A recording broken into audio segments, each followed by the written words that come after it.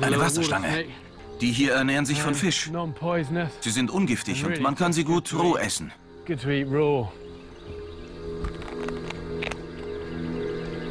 Weg mit dem Kopf.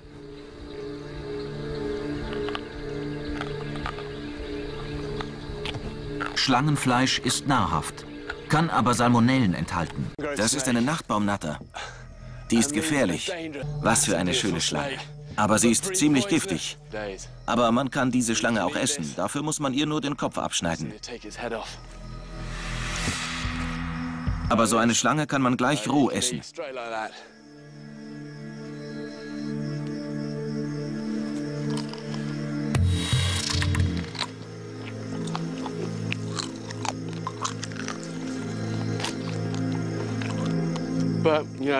Nicht schlecht für rohes Fleisch. Die gibt's zum Mittagessen. Diese Schlange liefert mir mehr Fleisch als genug für eine Mahlzeit. Mein Herz rast. Aber so eine Puffotter kann man sogar essen, bevor sie gehäutet und ausgenommen ist. Gebraten schmeckt sie allerdings besser.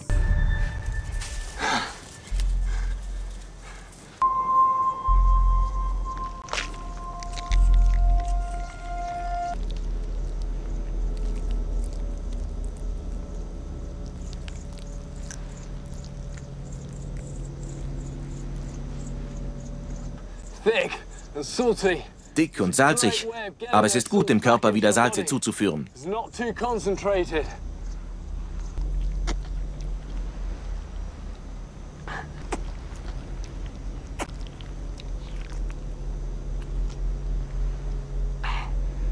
Es ist eine Klapperschlange.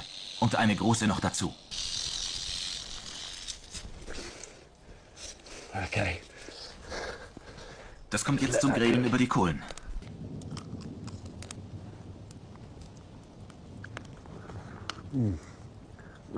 Das after wärmt nach dieser Dusche. Das ist eine Warzenschlange. Weil ihre Haut so rau ist, nennt man sie auch Pfeilenschlange. Das ist ein toller Fang.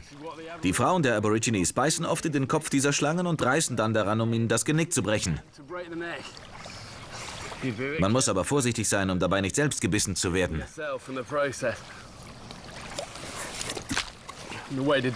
Man muss es schnell machen und schon ist das Genick gebrochen. Die gibt's zu essen.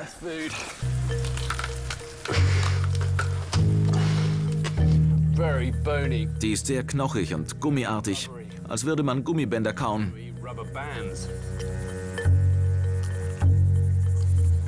Da ist ihr kleines Maul.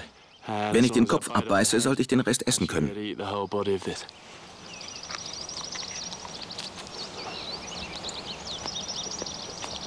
Der Kopf bewegt sich noch. moving. Das ist eine kleine Erzspitzschlange, die nach oben klettern wollte.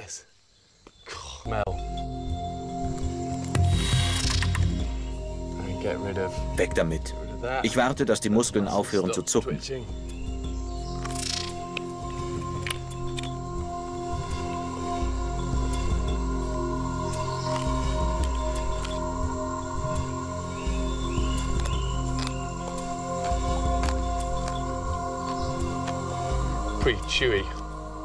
Das ist ziemlich zäh.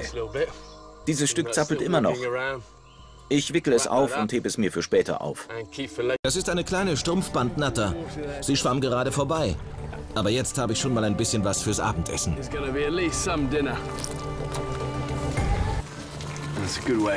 Ich koche sie, um die Bakterien abzutöten. Das köchelt schon seit zehn Minuten. Ich kann sie jetzt essen. Aber Schlange ist extrem gewöhnungsbedürftig. Manche Leute sagen, Schlange schmeckt wie Hühnchen. Keine Ahnung, was die für Hühner essen. Das ist knochig, sehnig und schmeckt gar nicht nach Huhn. Eine Diamantklapperschlange. Die könnte mich zweifellos umbringen. Das muss auf Anhieb klappen.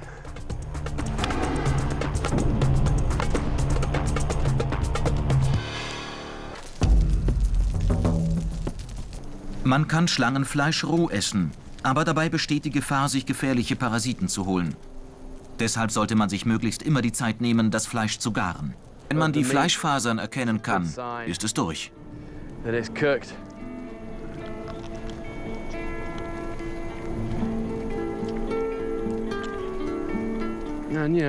Nicht übel. Das schmeckt wie eine Mischung aus Huhn und Fisch. Eine fette Königsbohr. Der gefällt es gar nicht, dass ich hier so nahe komme. Ich habe nur einen Versuch.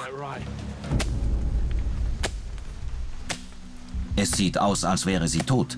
Aber ich will kein Risiko eingehen. Man kann nur dann völlig sicher sein, wenn man das Rückgrat durchtrennt. Das wird ein super Abendessen. An dieser Schlange ist eine Menge nahrhaftes Fleisch.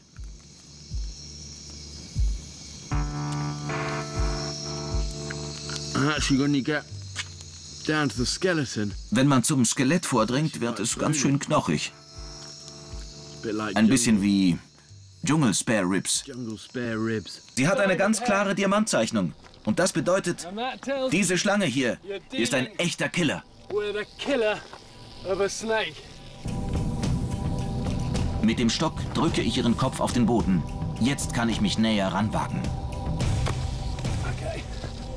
Um ganz sicher zu gehen, schneide ich ihr den Kopf ab.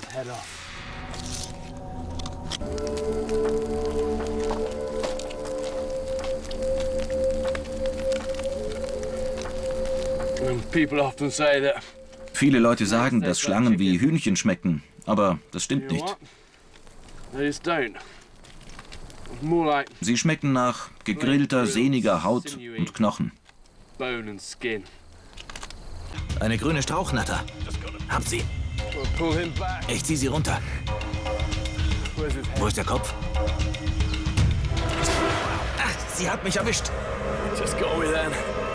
Die gibt's zum Abendessen. Es ist nie schön, von einer Schlange gebissen zu werden, aber wenigstens habe ich was zum Abendessen. Grillen ist die einfachste Art, aus einer Schlange ein nahrhaftes Essen zu machen.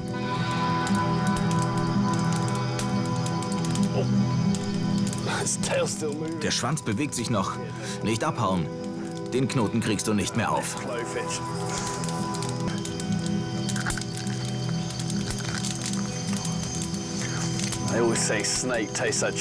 Man sagt ja immer, dass Schlange wie Hühnchen schmeckt, doch das stimmt nicht. Sie ist zäher und knochiger. Yeah. Hornvipern werden bis zu 80 cm lang. Ihr Gift kann massive Blutungen und Herzrhythmusstörungen auslösen.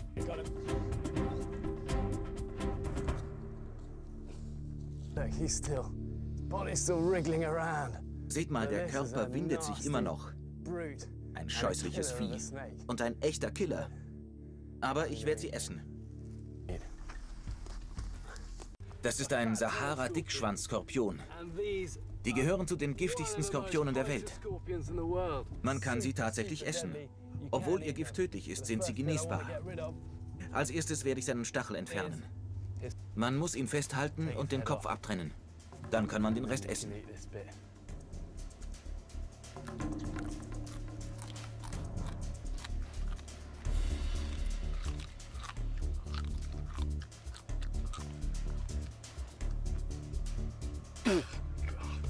Das ist ein Geißelskorpion, ein Riesenvieh.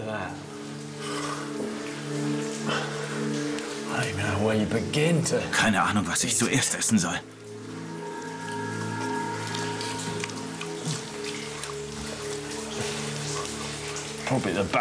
Da habe ich wohl das Hinterteil erwischt.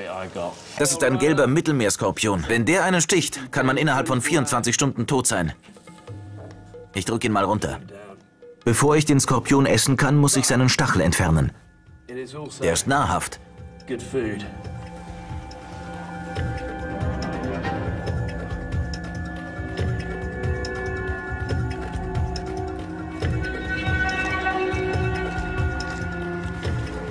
Aber nicht sehr lecker. Ein haariger Wüstenskorpion. Diese Art ist ziemlich aggressiv. Man sollte sich vor dem Stachel in Acht nehmen. Ich schneide ihn ab.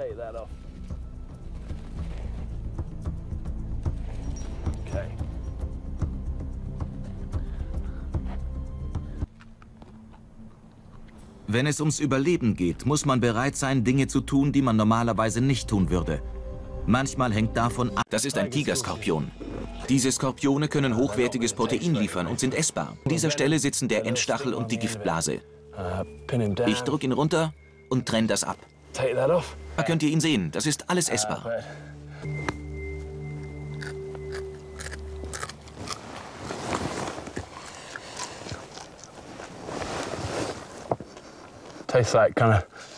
Das schmeckt wie alter Käse, der drei Wochen rumstand. Hier ist ein Skorpion. Und zwar ein ziemlich großer. Seht ihr ihn da unten sitzen? Hier drunter.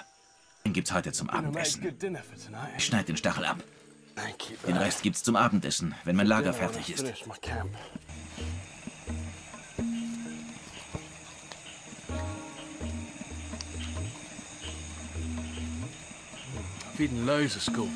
Ich habe schon oft. Skorpione gegessen, aber immer nur roh.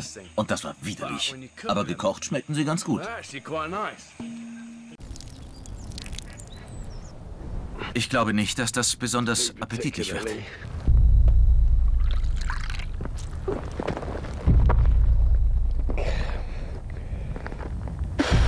Ich stehe auf Cocktails, aber ein Mix aus Pisse und den Innereien einer Schlange steht nicht auf meiner Wunschliste.